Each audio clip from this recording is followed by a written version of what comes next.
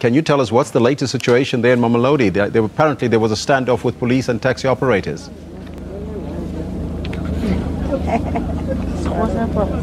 Well, good morning, Elvis. Uh, yes, certainly. Since very early this morning, uh, the, uh, the, the, the, the area where the PUTCO bus depot is situated here in um, the east of uh, Mamelodi has been uh, a little bit of a, a, a, tense situation as a lot of taxi owners, taxi drivers have converged here outside the uh, PUTCO bus depot demanding answers from government. Uh, they say they have been promised to take over uh, this uh, depot, to also take over the routes that uh, the PUTCO buses used to utilize here in Mamelodi. But they say now it seems as if government is not meeting that promise, as they have just learned a couple of days ago uh, that another bus company under the wing of PRASA will be taking over the services that were provided by PUTCO and, of course, those bus route, routes. But, of course, you would imagine that uh, the the situation that has played out since early this morning has left a lot of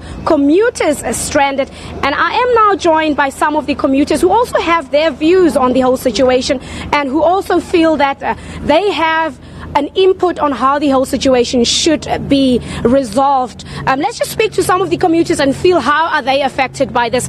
Uh, good morning, Mama. You are one of the commuters that have been affected, and uh, you have concerns. Can you just share with us how do you feel? Yes, Mom Lady, we, we, we feel as the commuters, you are not taking us serious because of now we don't have a, a, a transport like Erasmus Kloof and Harankuas is a lot of money to go that side.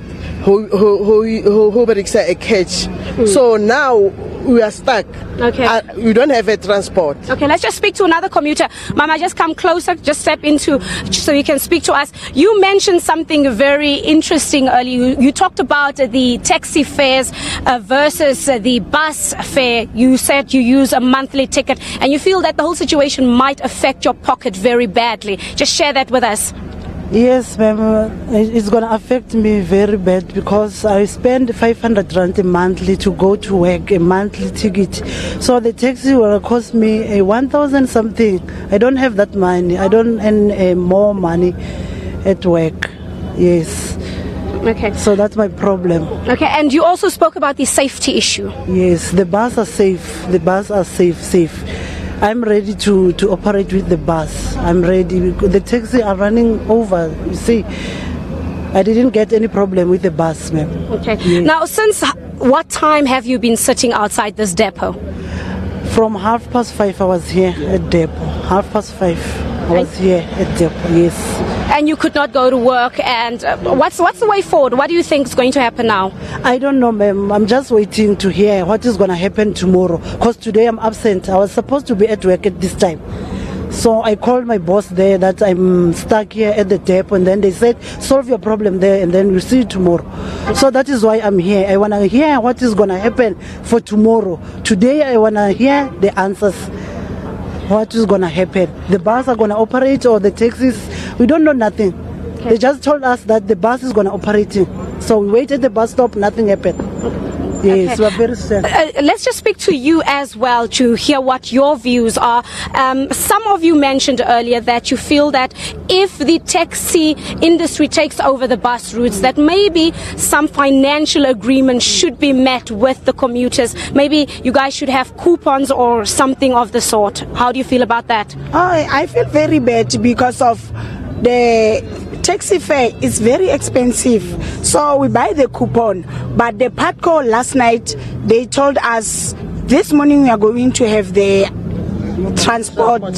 So they told about the fare is going to be the same that we pay from yesterday. So even the taxi owners they didn't tell anything now we are waiting for answers. They say they're going to court. Since when you are going to stand here? I was here till half past five in the morning, but still I'm still waiting for the answers.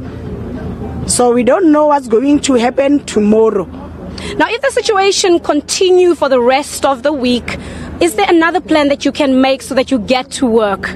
Another plan, the alternative plan we can make is the taxi. So we don't know that the money where is coming to come from because of the alternative transport is taxi.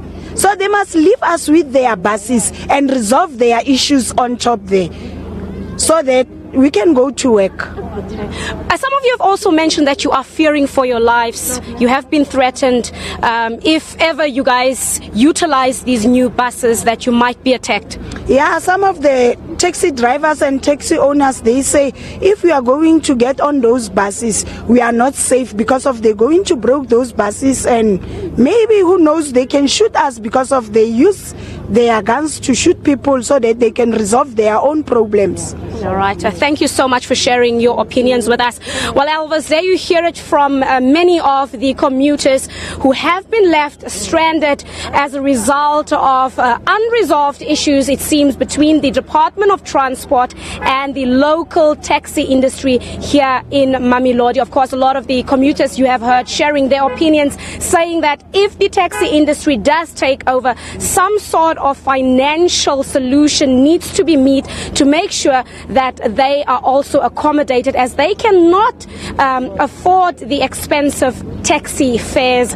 And of course, uh, the taxi owners also feel that the Department of Transport needs to find a way to subsidize them and empower them as they have been in the in- industry uh, for years now. It's been 21 years of democracy and they feel they are still not taken seriously. And uh, this is their livelihood. They need the money and they feel that it is unnecessary to bring in a new bus operating system while they are here, while they can provide a transport system. But of course, the issue of safety and how feasible it is for the taxi industry to take over the bus routes in the area. That remains a big question that I see many don't have the answers to.